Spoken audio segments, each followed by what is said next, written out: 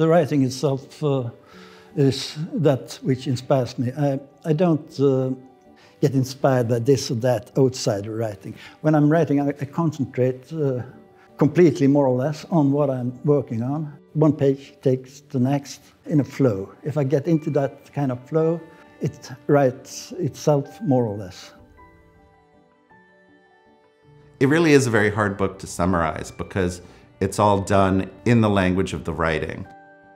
It's his longest work, and uh, I think the longer the better for him uh, because his writing always builds in these sort of waves of moving back and forth and kind of touching on different things and connecting them to other things only builds over the course of whatever his writing is, whether it's a story or a novella or a novel, or in this case, a triple septuple novel. Asle shows him one painting after another. He has nine finished paintings in the room. And then he has quite a few more in a storeroom down in the cellar, he says. And Beyer says that there is not the slightest doubt in his soul.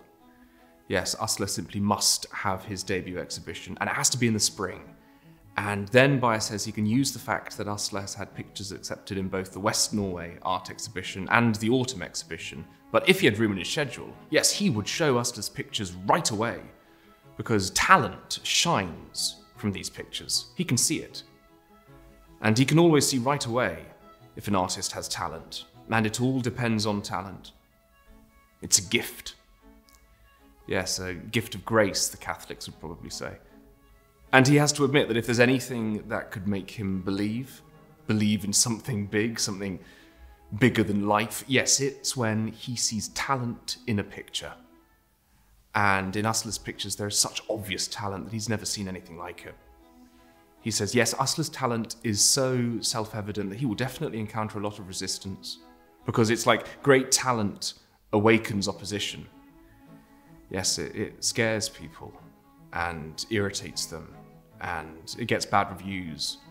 But for whatever reason, it's different with people who buy pictures. They buy what they like and what they think is worth the money. And what they buy, with few exceptions, are pictures that show talent, Beyer says. Anyway, that's how it is in his gallery, he says. And Beyer asks if he can also see the paintings that are down in the cellar storeroom right now. And so Asle and Beyer, both wearing a black suit and tie, go down the steep old steps to the cellar, and in the light that there is down there, Asle shows Beyer the paintings he's keeping there. And Beyer says that Asle already has enough pictures for two shows. So there'll be two. But there has to be a year between them. And now that he's seen these paintings too, he's changed his opinion somewhat. He wants Asle to exhibit them in the weeks before Christmas. He should be able to squeeze in an exhibition during Advent, Beyer says, because that's when pictures sell the best, he says and he says that he feels strongly that Asle's pictures will sell well.